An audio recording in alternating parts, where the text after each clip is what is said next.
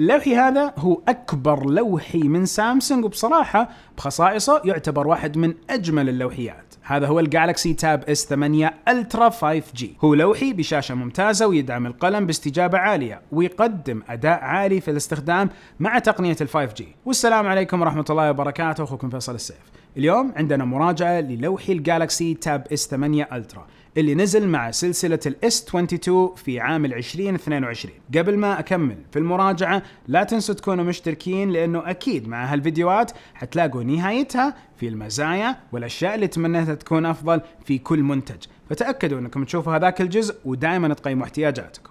خلوني أبدأ بالجهاز. وأقول إن ال Galaxy Tab S8 Ultra يجي بتصميم معدني بالكامل والمعدن المستخدم هو ال armor aluminum واللي بحسب سامسونج يحمي من الصدمات والسقوط. وبرضه سامسونج تقول إنه اللوحي هو أكبر وأنحف لوحي في عائلة ال Galaxy Tab S.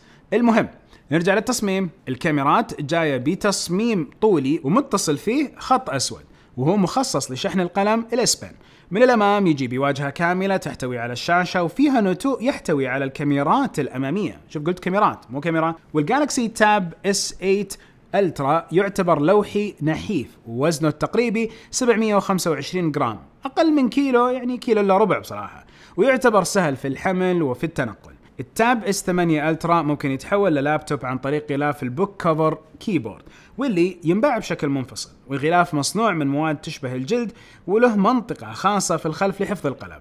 برضو يجي بلوحة مفاتيح backlit ويقدم تجربة كتابة جيدة ويجي كمان ب touchpad بس أرجع للوحي اللي يدعم قلم ال S Pen القلم استجابته ترى عالية. تقدروا تستخدموه في تصفح الجهاز وفي كتابة الملاحظات في الرسم ومدعوم في كثير من التطبيقات. والقلم نفسه يوفر تطبيقات كتابة شفناها سابقا في ال Note والحين في ال Ultra زي تطبيق إنشاء الملاحظات والتحديد الذكي وتطبيق الكتابة على الشاشة والرسائل المباشرة وغيرها. أيضا القلم يجي بزر يمكنكم من الإيماءات استخدام الإيماءات والاستفادة منها بحيث أنكم تقدروا تلتقطوا صورة أو تغيروا العدسة أو تلتقطوا صورة للشاشة أو تمشوا ال presentation العرض اللي عندكم قاعد يشتغل على الشاشة بدون ما تقربوا على نفس اللوحي بس بالزر اللي بالقلم.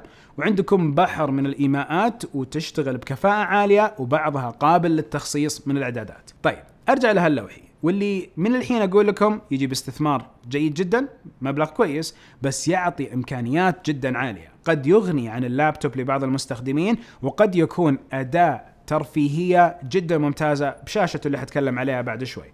بس أول لازم أقول القدرة حقت المعالج اللي هو من Qualcomm هو ال Snapdragon 8 بجيله الأول.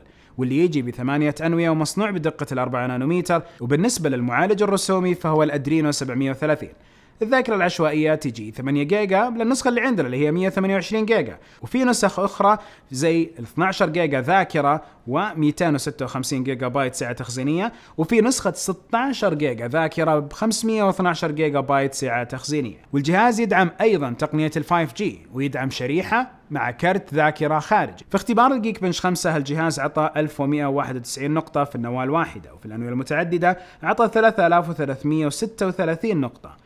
تجربة لعبة ببجي على طول. شغلناها في الإعدادات السلسة ونمط الإطارات القوي وعطت إطارات ثابتة على 60 إطار في الثانية وإلى هذه اللحظة ما في دعم رسمي لل 120 إطار. كون أنه الشاشة بتعرفوها بعد شوي تدعم إطارات عالية. في تجربة لعبة Call of Duty Mobile اشتغلت بكفاءة عالية على الإعدادات العالية. واطارات ثابتة على 60 إطار وبرضه اللعبة تدعم أيادي التحكم الخارجية زي يد ال Xbox ويد ال PlayStation 5 ولكن تحتاج تضبط الاعدادات والأزرار وحيكون عندكم تجربة مثالية. بطارية الجهاز الكبير هذا 11200 ملي امبير تدعم قدرة الشحن 45 واط باستخدام تقنية ال super fast charging الثانية. قدر يشحن بطارية ال 11200 ملي أمبير من صفر إلى 43% في نصف ساعة بس. وأجي للشاشة اللي هي أجمل ما بهالجهاز.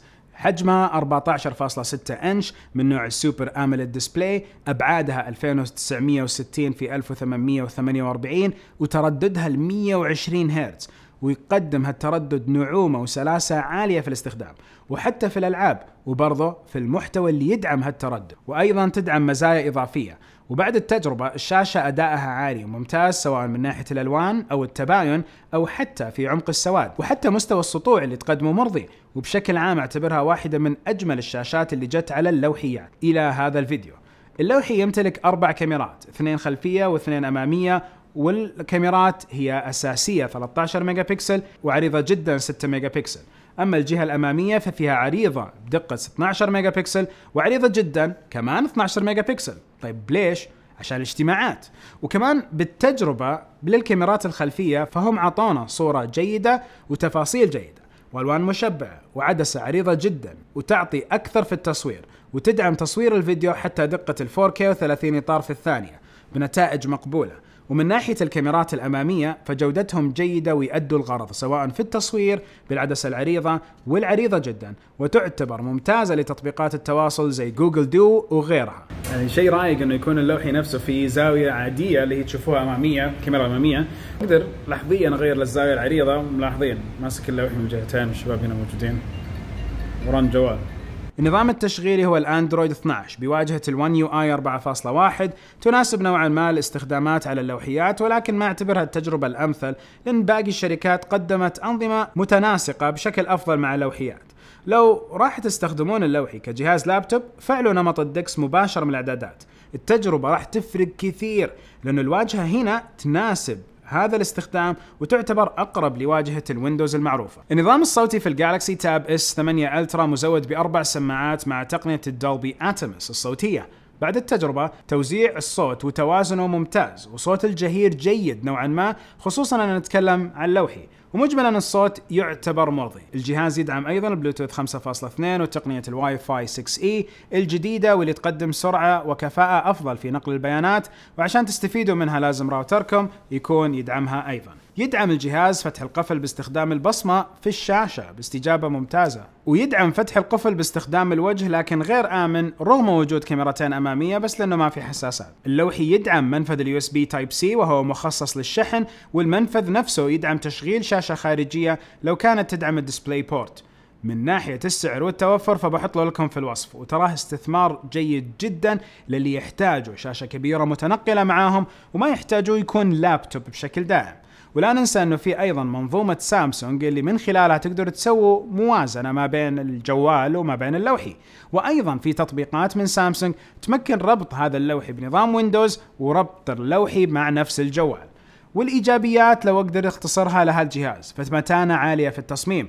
والتصميم يعتبر جميل والشاشة كبيرة ومناسبة لمشاهدة المحتوى مع عمر بطارية ممتاز لمشاهدة المحتوى. يدعم القلم وحساسية القلم عالية وتناسب الرسامين. كمان الجهاز يدعم الشحن إلى 45 واط وبطاريته كمان حجمها كبير.